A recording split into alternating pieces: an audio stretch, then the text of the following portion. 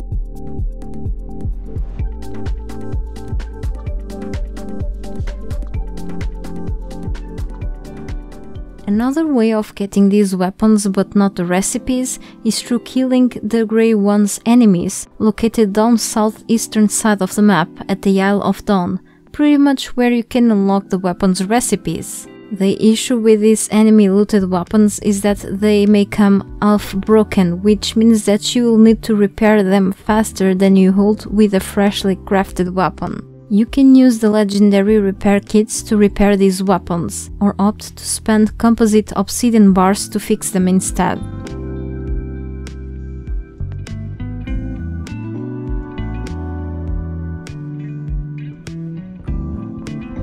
To craft all these weapons, shield and even the Grey One's armor set, you must travel to one of the forges of the First Man, by the Isle of Dusk. Each of the weapons require a part of the diverse resources composite obsidian to be crafted in here. One of the ways of getting composite obsidian bars is by looting the corpses from the human Yogit race NPCs, which you can summon through the altar of the south at one of the ley shrines. Another way is by crafting them in these forges of the first man, and here is where the raw obsidian comes in. The Grey One's enemies will also randomly drop a certain amount of raw obsidian. With a little bit of luck you may find a small amount of obsidian in a few of the world loot chests, but I don't really remember about getting it this way, so I can tell that the most reliable and faster way of getting certain amount of raw obsidian is really through the Grey One's corpses looting, since there are no obsidian rock nodes anywhere in the map of Siptah, like there are in the Exile lands. Of course, anything shown in this video can change in the future, so who knows. Thank you so much for watching this video and I hope I could help some of you with this.